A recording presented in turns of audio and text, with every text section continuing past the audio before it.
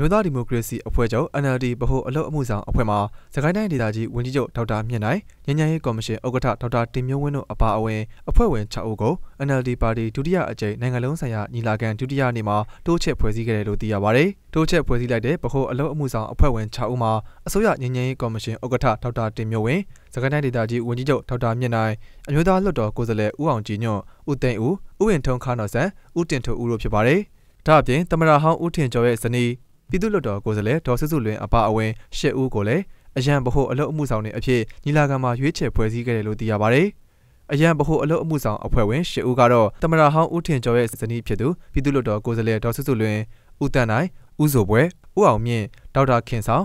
ဦးစိုးလေးခေါ်ဦးစိုးဝင်းဦးမမောင်စိန်နဲ့ဦးကျော်ဟိုးတို့ဖြစ်ပါတယ်။ အမျိုးသားဒီမိုကရေစီအဖွဲ့ချုပ်ဒုတိယအကြိမ်နိုင်ငံလုံးဆိုင်ရာညီလာခံကိုဇွန်လ23ရက်နေ့နဲ့ဇွန်လ24ရက်နေ့ကရန်ကုန်မြို့ရှိမြန်မာ Convention Center MCC မှာပြုလုပ်ခဲ့ပြီးညီလာခံပထမနေ့မှာဗဟိုကော်မတီဝင်အသစ်42ဦးနဲ့အရန်ဗဟိုကော်မတီဝင်အသစ်30ဦးတို့ကိုရွေးချယ်တင်မြှောက်ခဲ့ပါတယ်။ ညီလာခံဒုတိယနေ့ဇွန်လ24ရက်နေ့မှာညီလာခံပထမနေ့မှာရွေးချယ်တင်မြှောက်ခံရတဲ့ဗဟိုကော်မတီဝင်အသစ်တွေနဲ့မူလဗဟိုကော်မတီဝင်တွေကဒုတိယဗဟိုကော်မတီပထမအကြိမ်အစည်းအဝေးကိုပြုလုပ်ခဲ့ပြီးဗဟိုအလုပ်အမှုဆောင်အဖွဲ့ဝင်နေရာအတွက်ကိုယ်စားလှယ်14ဦးနဲ့အရန်ဗဟိုအလုပ်အမှုဆောင်အဖွဲ့ဝင်အတွက်ကိုယ်စားလှယ်14ဦးကိုဗဟိုအလုပ်အမှုဆောင်အဖွဲ့ထံသို့တင်သွင်းခဲ့ပါတယ်။အဲ့ဒီလိုတင်သွင်းခဲ့တဲ့ကိုယ်စားလှယ်တွေနဲ့ပတ်သက်ပြီးဗဟိုအလုပ်အမှုဆောင်အဖွဲ့အစည်းအဝေးပြုလုပ်ပြီးလက်လက်လျက်ရှိတဲ့ဗဟိုအလုပ်အမှုဆောင်အဖွဲ့ဝင်နေရာတွေအတွက်ပုဂ္ဂိုလ်6ဦးနဲ့တိုးချဲ့ဖွဲ့စည်းခြင်း အရန်ဗဟိုအလုံးအမှုဆောင်အဖွဲ့ဝင်တွေအဖြစ်ပုဂ္ဂိုလ်၈ဦးနဲ့ဖွဲ့စည်းခဲ့ဖို့ဆုံးဖြတ်ခဲ့တာဖြစ်တယ်လို့သိရပါတယ်။အမျိုးသားဒီမိုကရေစီအဖွဲ့ချုပ်ပါတီအနေနဲ့1988ခုနှစ်မှာပါတီဖွဲ့စည်းတည်ထောင်ခဲ့ပြီးပထမအကြိမ်နိုင်ငံလုံးဆိုင်ရာပါတီညီလာခံကို